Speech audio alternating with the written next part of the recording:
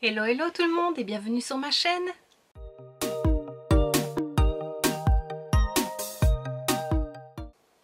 On se retrouve aujourd'hui dans une nouvelle vidéo où je vais t'expliquer comment j'ai fait ceci. Je m'approche.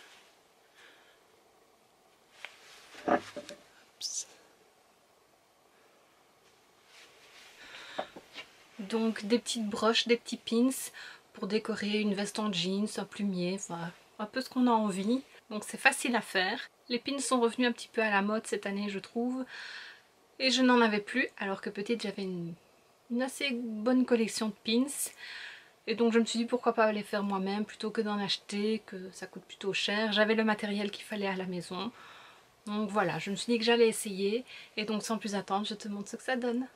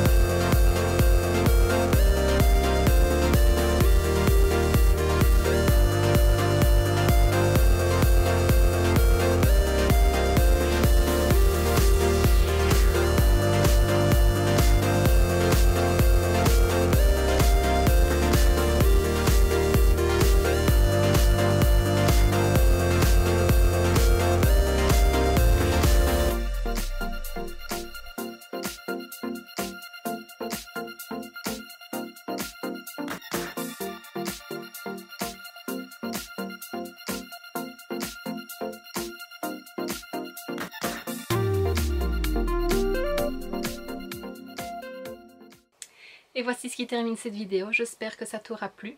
Si tu reproduis un de ces DIY, n'hésite pas à me taguer sur tes photos et tes publications, comme ça je pourrai aller voir ce que ça donne et la liker. N'hésite pas à mettre un pouce vers le haut à cette vidéo si ça t'a plu et à t'abonner, ça me fait toujours plaisir. Et on se retrouve très bientôt dans une prochaine vidéo. Salut